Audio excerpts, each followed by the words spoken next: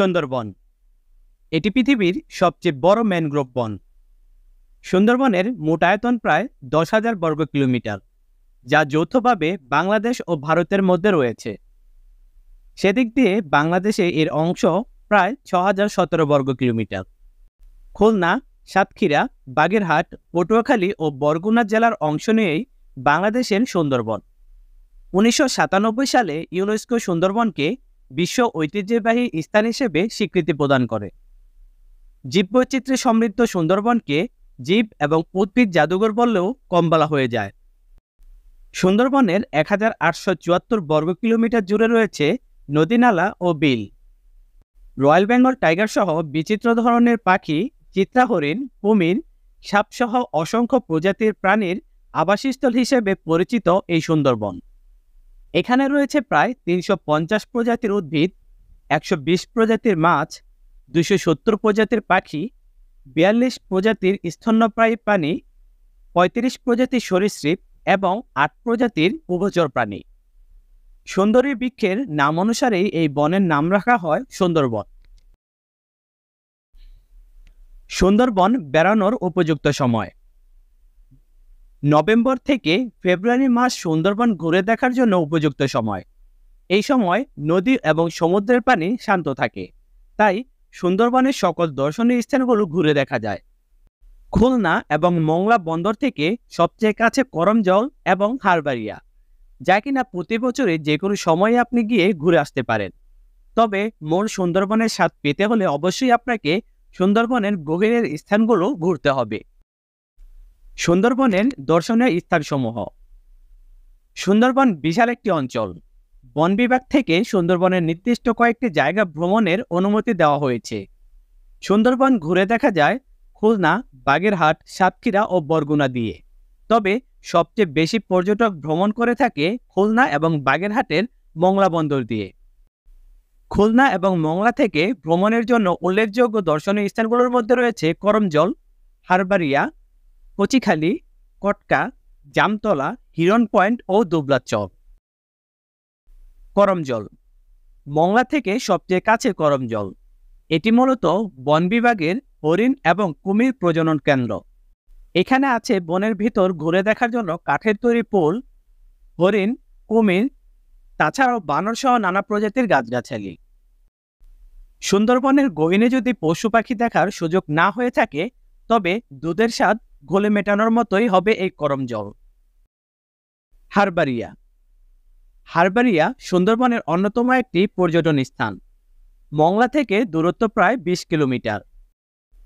এখানের মূল আকর্ষণ বনের ভিতর দিয়ে যাওয়ার কাঠের ট্রেল।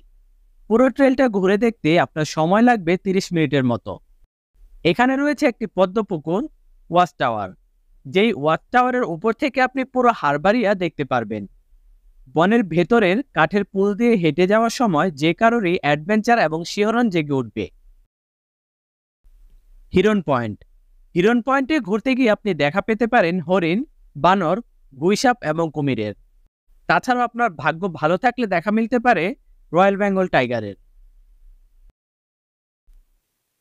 সুন্দরবন ভ্রমণের উপায়। আপনি চাইলেই একা বা দুই তিনজনের গ্রুপ করে সুন্দরবনের গইনে ঘুরে আসতে পারবেন না।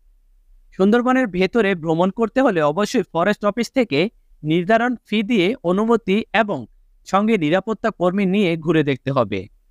আর সবগুলো স্থান ঘুরে দেখতে লঞ্চ বা শিপ ছাড়া কোনো বিকল্প নেই।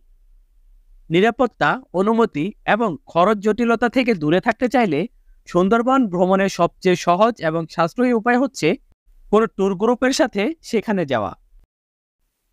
প্যাকেজের মধ্যে পেয়ে যাবেন শিপে ওঠার পর থেকে ট্যুর শেষ করে ঘাটে ফেরা পর্যন্ত।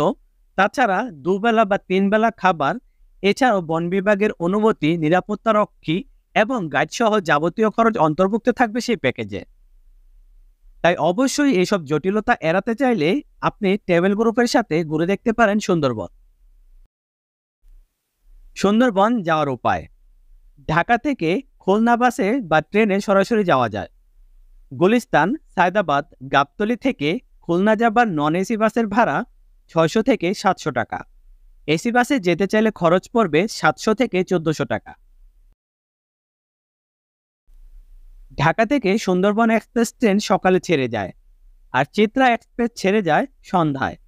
ভাড়া সিটের ক্লাস অনুযায়ী পাঁচশো টাকা থেকে সতেরোশো টাকার মধ্যে। চাইলে ঢাকা থেকে সরাসরি মোংলাও যেতে পারেন। সেক্ষেত্রে আপনার খরচ পড়বে চারশো পঞ্চাশ টাকা থেকে পাঁচশো টাকা। মংলায় ভালো বাসে যেতে চাইলে খুলনা যাবার বাসে যেতে হবে আপনাকে। সেক্ষেত্রে খুলনায় আগেই কাটাখালী নামক স্থানে নেমে যেতে হবে। সেখান থেকে বাস, সিএনজি অথবা ইজি বাইকে করে বত্রিশ কিলোমিটার দূরে মংলায় যেতে পারবে। ঢাকা থেকে খুলনা বা মংলা যেতে আপনার সময় লাগবে ছয় থেকে আট ঘণ্টার মতো। কোথায় থাকবেন? শিপ বা লঞ্চে ঘুরতে গেলে সেখানে থাকার ব্যবস্থা হয়ে যাবে আপনার।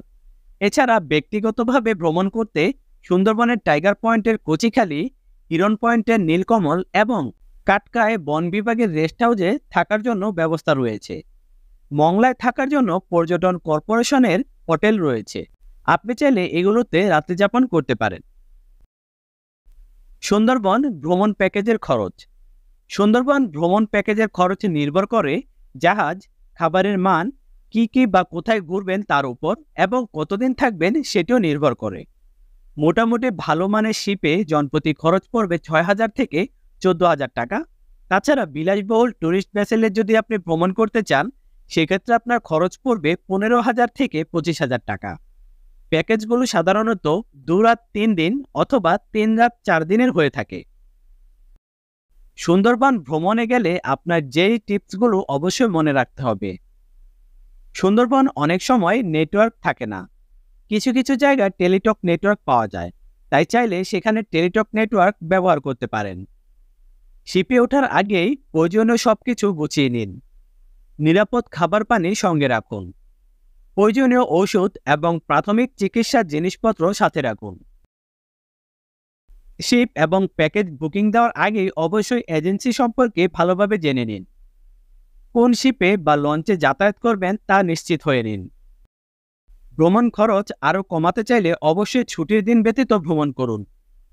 সাথে করে ন্যাশনাল আইডি কার্ডের ফটোকপি রাখুন। বাজেট নিয়ে সমস্যা না থাকলে লাক্সারি শিপে ভ্রমণ করতে পারেন।